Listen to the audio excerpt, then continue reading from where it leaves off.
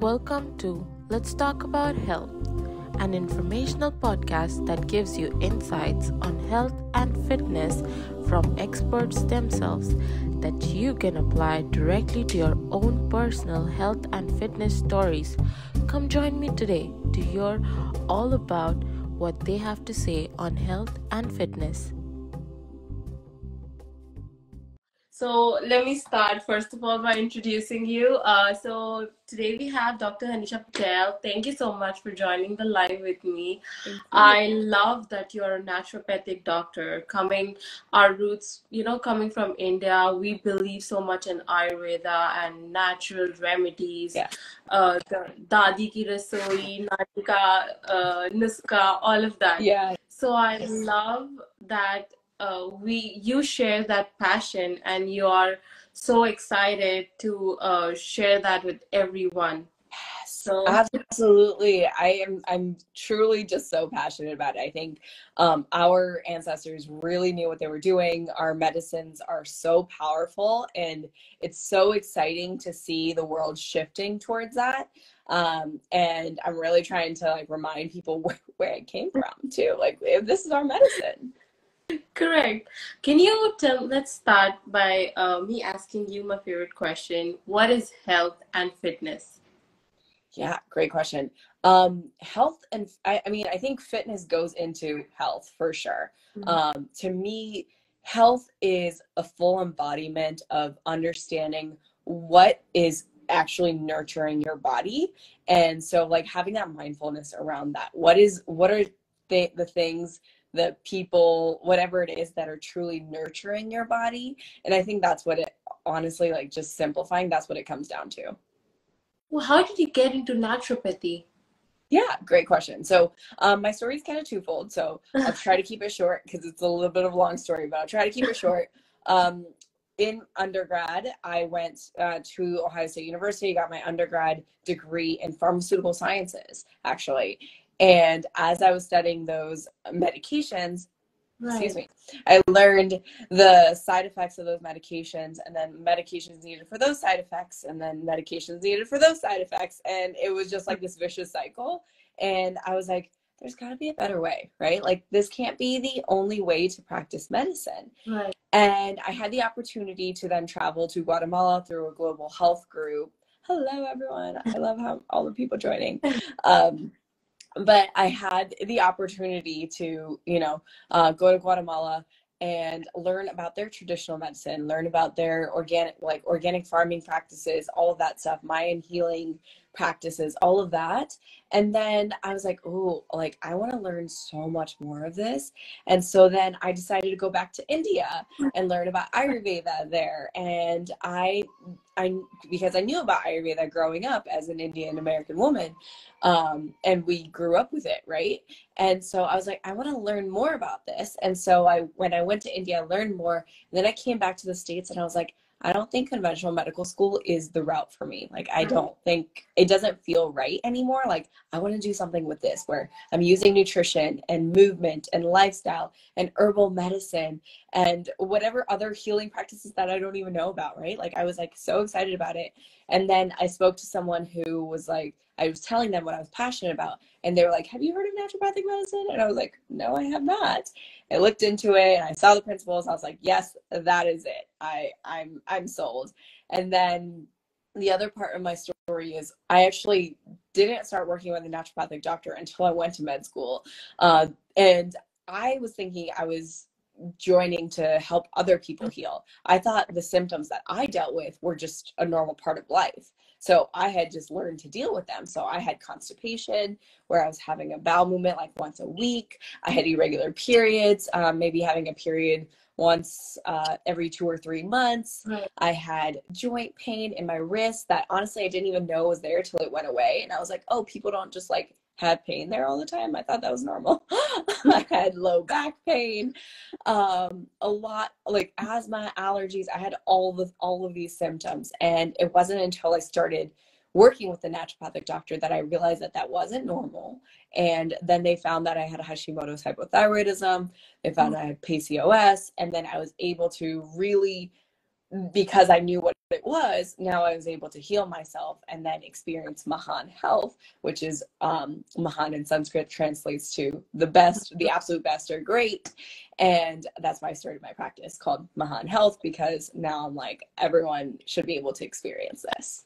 I love how you just normalize pain for yourself. Right. And I think so, so many people do that. I have so many people who come to me, they're like, oh, yeah, like, I, I mean, I feel fine other than like, you know, it's just like this little pain here, or like I have, you know, I, I deal with all of these. And then they'll like list a, like a number of symptoms. I was like, so you're not fine. Uh, and I feel like that's very Indian. Yes. Also, I see my parents do that so much. Like my parents are like, oh, I, I feel fine. I have no symptoms. Like, you know, and I don't need any medications. And then, or even supplements or anything. And I'm like, uh, and then they'll like tell me all of their symptoms that they're struggling with. I'm like, so you're not fine. And it's okay to not be fine. Like, let's just address it, you know? Yeah. Yeah, we get that from the Brown family stubbornness that will not go see the doctor until unless we're dying. Yeah. And yeah, those typical if if I'm going to the uh, psychiatrist, that means I'm crazy, I'm cuckoo. So we're, we're I'm I'm liking that we're bringing about a change. There is an awareness out there that we're openly talking about, and now it's normalizing yes. to be to be okay to talk about mental fitness, mental health. Mm-hmm. It's okay to go see the doctor for regular checkups rather than just wait until you're having a heart attack. So right. Uh, right. we're normalizing a lot of things. And thank you to you. You know, you saw that okay. I I see side effects so much. I have such young patients being in physical therapy that were hooked up to opioids because it was prescribed by the doctor, and now they cannot get off uh, of it. Awful. Yeah. Yeah, that's so terrible. And that's and that's a part of the problem, right? We're not addressing the root of the issue. Correct. We're not addressing uh, and we're not approaching it from like a therapeutic order. And so that's what in naturopathic medicine, Ayurvedic medicine, we have a therapeutic order. You start with the least invasive things first, right. and then, as needed, go up to the more invasive things. And like opioids are very invasive and um, really should be a last line, you know, a last resort kind of thing. And for acute pain, not chronic. Because if it's chronic, then right. it's still not going to help long long term, right? They there's a prescribing the opioids, the medical marijuana to almost every surgery. And I don't think surgeries, post surgeries, you need so much. Yeah. A lot of.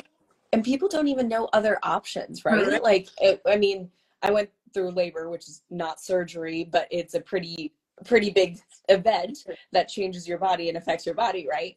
Um, and normally they recommend uh, ibuprofen postpartum mm-hmm. because of the pain. And I never took ibuprofen. I only took arnica and um, and that was it and within two days i had no pain i also did physical therapy pelvic floor physical therapy throughout my pregnancy and during and, and not during and then um, postpartum as well and so that helped prevent a lot of symptoms but most people aren't even aware that they could do these sorts of things right like i literally just injured my back um, in my workout last week oh, um, I guess almost I'm almost two weeks ago now, but um, I had worked with physical therapists in the past and I have figured out like certain exercises and things that do help me. And the reason why that back, like it's always my low back, it's because of mm-hmm. whatever I'm like, you know, my daily routine, like whatever I'm normally doing, it Im- impacts my back most. And so now I know the exercises that I can do. And within a week, I was fine again. But it was like a pinched nerve, like it really hurt.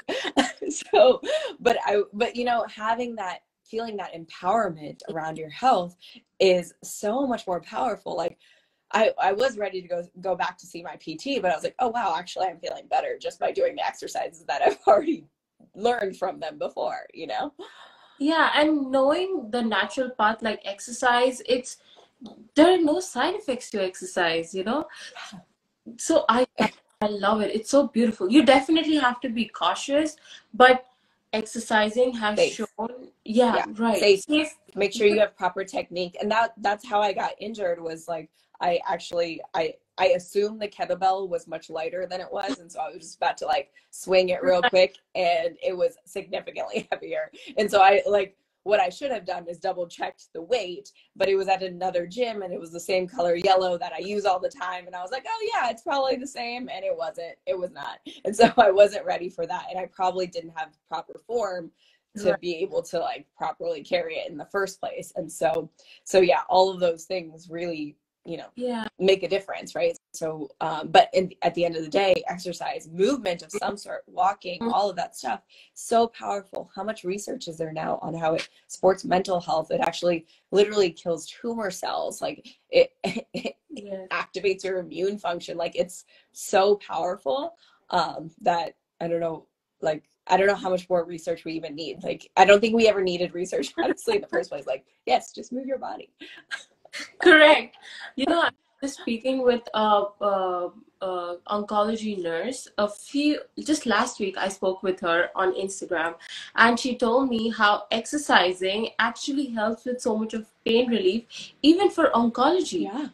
Like for cancer patients, and even we growing up like studying being in med school we had the perception oh it's cancer so you don't do too much you don't you know mm-hmm. uh, do exercise or you just let them rest let them be but now knowing about knowing so much about movement therapy i'm like no i'm going to make them exercise and that movement is going to release hormones and oxytocin that's going to mm-hmm. just keep them active that's going to keep them you know a little they, they it'll take their pain a little away. Yes for sure. And of course it depends right? Like maybe maybe we don't want to be doing like powerlifting over here and that's okay you know? But like some movement can be so powerful and it like it really depends on where right? Like i work with a lot of women um, through their fertility journey pregnancy and postpartum and i'm like postpartum it's like yeah we slowly move up. Like you don't just go straight into the intense exercise you were doing pre-pregnancy. Like you, you like it's still a slow build up right? It took me probably about 18 months to really get back and then even and then even stronger. Um but it's like that's normal. It's okay. Like your body like needs that support and and it's okay to slow down a little bit but but continue to move. Correct. Continue to move for sure. There are a lot of misconceptions especially i've heard in india when my cousins were pregnant. They said you know don't move. Don't take this thing Oh yeah, that is oh my gosh, that drives me so crazy because exercise can actually be so helpful throughout pregnancy. So even if you never exercised before pregnancy, starting to exercise during pregnancy and it doesn't have to again, doesn't have to be intense, it doesn't have to be crazy, just walking, doing some squats, like getting some movement in, sitting on a yoga ball and like just activating your core a little bit. Like all of that can be so supportive. I know during my pregnancy, I had, again, my back is always like the one that gets a little triggered, but back pain is really common during pregnancy yeah. because you have like so much weight, it puts more pressure on your spine. Yeah. It makes sense that you're more likely to have back pain. But what would really help me was when I would just go into a plank. I would hold a plank for 30 seconds and my back pain would go away, right? The more I sat on the couch, the more back pain I had. And the more I was active and walking and moving and squatting and planking and doing all those things, the less back pain I had, you know? And so, and the reason for that is the plank really, and this is something I recommend to a lot of my patients is because the plank, what that does is it helps activate your deep core and then it can like whatever weight you're carrying, you can kind of bring it up like that. So it's not as much weight on your spine. Right. And even in PT, I've noticed like with back pain and uh, gluteal weakness, the main muscle that none of us focus is the core. Mm-hmm. We do mm-hmm. not age or you know uh, we do not deal with the core we do not take it so seriously that we should and you doing a plank proves it yeah. that you know back pain is going away because you're engaging your core to such an extensive level. Mm-hmm. What are other misconceptions that you come across? In terms of exercise or pregnancy? In terms of uh, I hear the baby. Yes, sorry. No, it's okay. I, I, I think he stopped playing his song, and so now he's upset.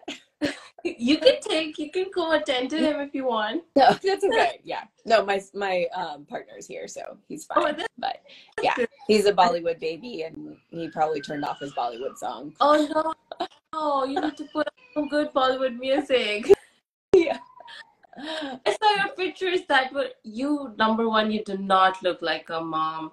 The way you maintain yourself. Girl let me tell you that's not how a mom looks like. but it does. So i'm gonna i'm gonna correct you there. So so moms can look like anything right? Like i oh. think i think again that's a big like misconception there. So i will i will correct you on that. Like uh, because moms can be beautiful moms can be like we're all different we're all different in terms of like shapes and sizes and things like that. And so um so yeah i'm gonna i'm gonna correct you there. Tell me more about what misconceptions you come uh, across in terms of pregnancy because you are the pregnancy guru here so. Oh thanks.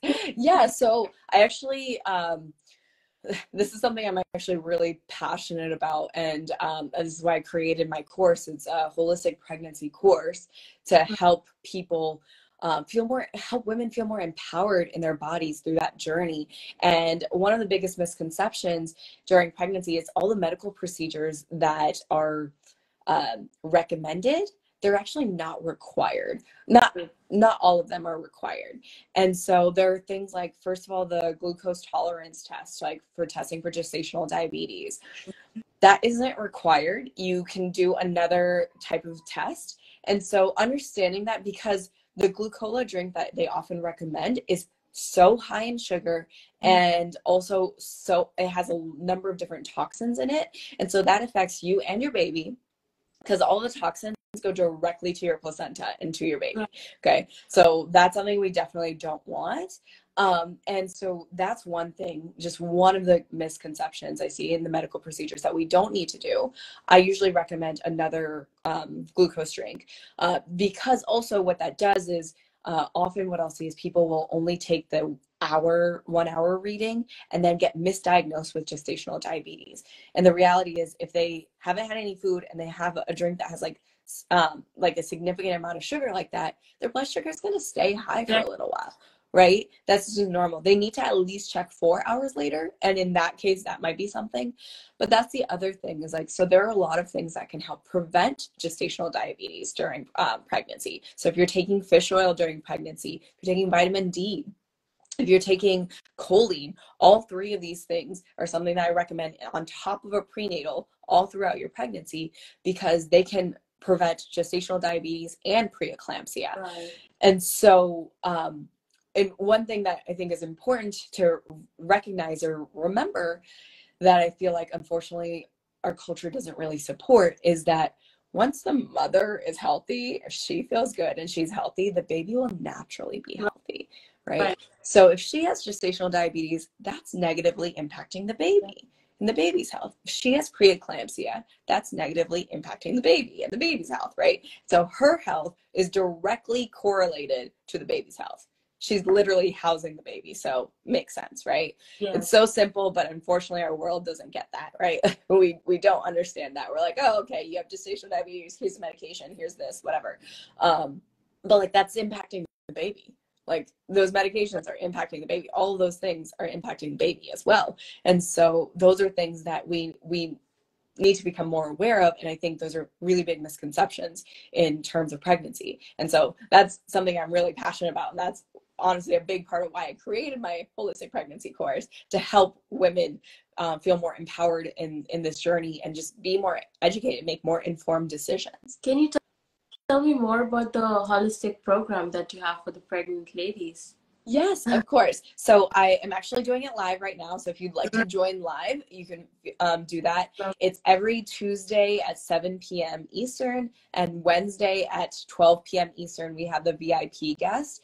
And so uh, we are and you you'll get access to the recordings and everything. Um, so we already had the first two weeks. The first week uh, module one was all about embracing the journey um, easing some anxieties that you might have which we all have when we find out we're pregnant.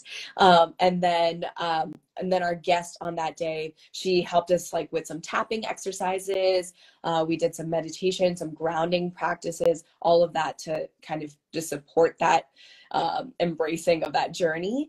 Uh, and then module two was all about nurturing the body. That's where I talked about a lot of what I just talked about um, in terms of medical procedures, lab tests to have done, supplements you need to be taking.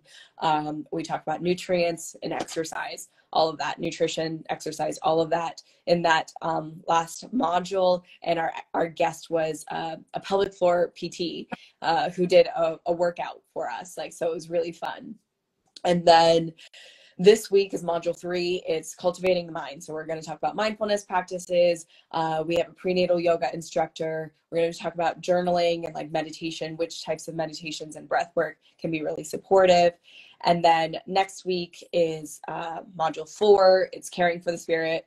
And that's where we dive deeper into connecting with your baby, yourself, and the higher power on like a whole nother level. Um, and our guest speaker is, uh, or guest uh, is teaching us uh, how to connect with our baby through dance, which is so fun. Um, and you can tell which one I'm most excited about. And this is why my son is like such a Bollywood dance baby. Uh, but um, the last one, actually, I'm really, I'm really excited about this too. The last one um, is all about in, enjoying motherhood. It's it's all about postpartum health and support and how you can nourish yourself postpartum, how you can gain that support that you need. And then um, we have two doulas coming in, and they're going to be talking all about how to support yourself in a in a, a big way postpartum. So yeah, that's the whole course. It, it's so so lovely. Is it all online? It's all online. It's all virtual, and um, Oh, on top of that, one of actually this is my other favorite part of this. I clearly am like really excited about this in general, but my other favorite part is there's a community forum too. So so that we can continue to communicate, right? Like it's this is only a 5 week thing. Um, but we can continue to communicate afterwards and then even if other people join later, then then they can still ask questions and then it's like the way I'm seeing it is like it's like having the ultimate mom group you know and um, and then having all of your holistic mom friends and then even a holistic doctor who's there to support you and like answer some of your questions like right literally it's an app so literally at your fingertips. So um so yeah that's really exciting. It sounds so much fun. I'm so excited for you. you. i'm excited too. I i can see. Yeah. When do the pregnant mamas join in? Like which trimester do you recommend honestly um, as soon as you can uh, just because like like i said the first module starts with embracing the journey um, and then just understanding what the next points would be too because it's it's not like a i don't separate it based on trimester. It's like throughout your pregnancy all of this stuff is going to be supportive. So as early as you can and you start incorporating these things you have a community of moms or um, mamas to be who are there to support you all of that. The sooner you have that the better. But of course like even if you join later on understanding that postpartum support and all the other things is going to be really essential Right.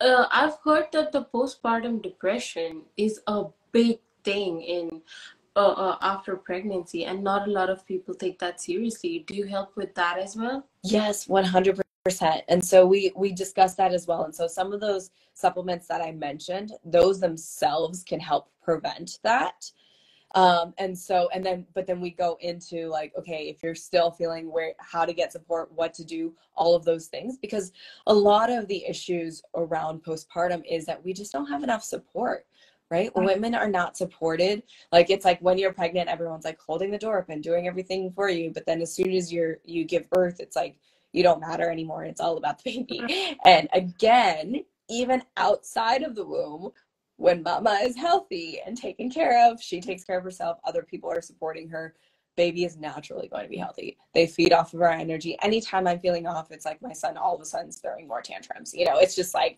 just he feels he feeds off of me, right? And so it's like I need to take care of myself. I need to feel like my best self so that he can be his best self, right? right. And so I, I think that's that's really important.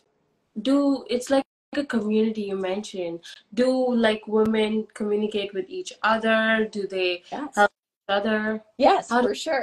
Yeah so it's like anyone can ask a question anyone can answer like it's it really is a community. So like if someone's like hey i'm looking for a stroller i don't know which one to mm-hmm. get like be like hey this is the one that i got and i really like it because whatever you know and so it's just like makes the process a lot easier. And so it's like yes, it's uh, like the stroller question is, I feel like I'm like, yes, that's the one I always think of in terms of like random baby things you need.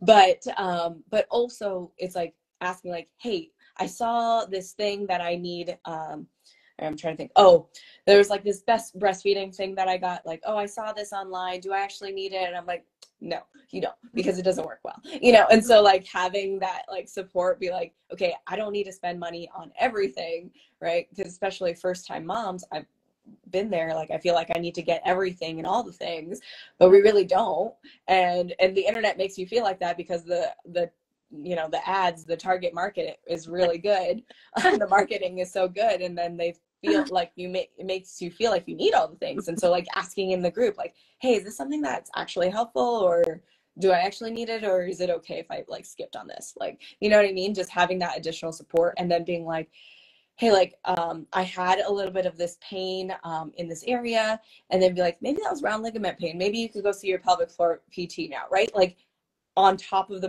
material things like you're getting that additional support as well do you encourage yoga along with oh, yeah. Yeah? Yes. Yoga is an amazing practice um, and i actually just recently posted like so if anyone's interested um, you can look at like the all the prenatal yoga poses that every pregnant woman should be doing um, and because it can really help support and get your body ready for labor and postpartum. Um, yoga and pelvic floor pt i think those are the main reason why i didn't have any tearing um, during labor. And I think that is something that is extremely common, right. but it can be prevented, which is really cool. So, and then even like easing the pains, like doing these hypnobirthing meditations and things like that, um, that I talk about in my course, all of that can be really helpful in reducing the pain um, during labor as well. So, so yeah, there's so much we could do. I know. I this is so mind blowing. Like there are so many things that you don't know about, and everyone feels the same. But I think everyone is a little scared to uh, reach out, or they don't have all the information or all the guidance. But this is so cool that they have a community. They can talk to one another. They're walked through the whole process. And I also know that there are a lot of single moms out there who are trying their best to deal with everything. So it it's a huge thing. Yeah. Yeah having that support is so essential and so wherever you can find it you know i, I think having like tangible support around you is definitely really important um, but also having that emotional mental support in general because um, I, I feel like sometimes for me I, I do have family around me but we don't always align in our thinking right? And like you know i don't want my son to have sugar things like that like we don't always align in that and so i don't have necessarily always have that support and like community in that way mm-hmm. locally. But having this even virtually online can be really helpful be like okay you're you're not crazy like there's actually a reason for this and, and if you want to do this then you can set your boundaries all that stuff and like supporting you through that. Does your baby help you with yoga? Oh yeah. He loves it's it's so cute because he will uh he'll just randomly come up to me and be like, be like, down dog? okay. and he also does om all the time. Like it's just like his like it's so cute. Like he just randomly will tell me, be like, Mama oh. om. And I'm like, yeah, let's do om. so cute. Yeah. I saw his videos and I was like, he's so adorable. He he's very cute. Yeah, yeah. yeah. He's the best. Thanks for how Mahan Health is just about pregnancy, or do you have other uh, people, other communities, yeah. other things under Mahan Health? Yes, definitely. So, um, Mahan Health, our practice, we have another doctor in our practice. Her doc, her name is Dr. Mi Tang, and she like so. I focus more on fertility, pregnancy, postpartum. Right. She does pretty much everything else. A lot of gut health, autoimmune right. health. Um, and mental health. Uh, those are really big things that she supports people with. And so she and she's amazing. I mean, I wouldn't have her on board if she wasn't. So, um, so she's also a great person. So if if you are looking for additional support in those areas, she's a great person to reach out to. That's awesome. Well, well, if you if you'd be happy to share the information, I'll we'll leave all the information for her as well yeah. in our description. Perfect. Perfect. Yeah, I'll, I'll send you her um, Instagram handle, and um, I think you have our website as well. I do so. have all the information. Okay, great. Tell me, how did you start? Like, I know how you started, but was there any role model that helped you through the process? Yeah, um, I I feel like I have had a lot of mentors. Like, I I don't think I could say just one. Uh, I've I've definitely had a lot of mentors, and a lot of them throughout medical school, and I'm I'm just very grateful for each and every one of them. I, I I've had, you know, from the clinical experience, uh, the mentors that helped me there, but then the mentors that both helped me in the clinical world in terms of knowing what to do uh, for patients, but also like in the the empathetic, compassionate world. And I think that is unfortunately um, not seen as often in physicians uh, right. these days because they're just so burnt out and that's a part of it. And so that's why to me self-care it comes to like is number one. Like i take care of myself first because otherwise then i can't be as present for my patients my son my partner. I'm i'm not my best self right? And if i'm not my best self then what's the point? That's literally how i feel. I'm like if i am showing up and don't want to see my patients then it feels terrible. Like I don't, I, I don't, I'm not helping anyone, right? I'm actually really not. And so me taking care of myself helps me then be my best self for my patients so that I like every day that I see patients, I'm like excited to see my patients. You know, I'm mm-hmm. excited to be there to support them through wherever they are in their journey. And um and that's that's hard for that to happen if I wasn't taking care of myself. Mm-hmm. Yes, you have to. Yeah, for sure. But for sure. Everyone knows your body as well as you do. Yeah, yeah, exactly. Exactly. And that's, I mean, that's something I tell my patients too. Like, at the end of the day, like, I can go based off of research, I can go based off your mm-hmm. symptoms and clinical picture, but at the end of the day, it's your body. Your body, you know what to do for your body best. And a lot of times, even things that I suggest, you might have already known that, but you've been afraid to make that shift right? And now you have someone to like really kind of um, reiterate it for you you know remind you like okay yeah this is what i need to do. Right. Mm-hmm. what is one thing that you would what one piece of advice that you would give to 18 year old hanisha? It's okay to let go. Okay. It's okay to let go of control because you have the power I think that's what I would say. Yeah. I like yeah. that. I'm gonna, gonna use it. Yeah. That's an affirmation that I've been really using a lot lately because recognizing that I have power, but I don't need to have control over everything to have power. That's nice. well, thank you so so much for taking the time out. And I know you have another session again, so I know how much efforts you took to just be here. So thank you. It means a lot to me. Thank you. Thank so you. Um, thank you so much for having me. I'm so grateful to be here. Yeah. I'm really looking forward to all those classes. I know I'm going to stalk you. You know that well. I'm going to here for it.